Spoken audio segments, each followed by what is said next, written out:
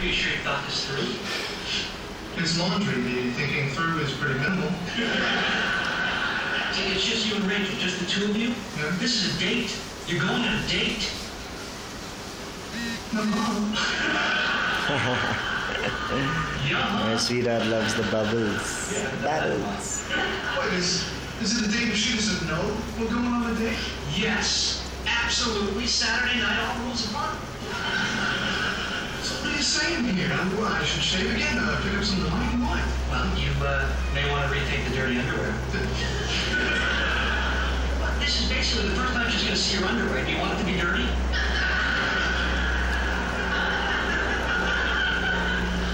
No. Oh, and uh, the fabric softener?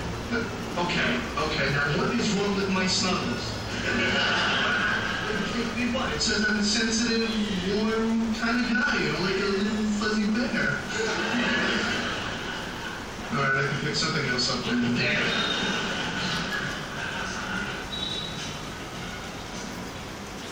Thank you. So what does Bob guy look like?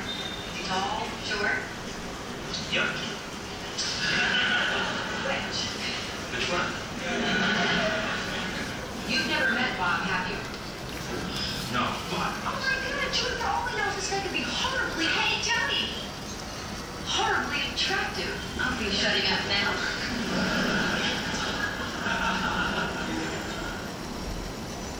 Where are they? Where are they? This is nice. We never do anything just the two of us. That's great. Maybe tomorrow we can rent a car and run over some puppies. Hey, so I don't want to do that.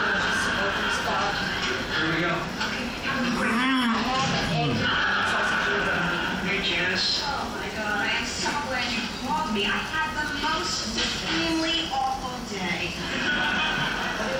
Hey, that's not good. Can I get an espresso and a latte over here, please? Oh, we got the proofs back, that photo shoot. You know, the vegetable. So, so I blew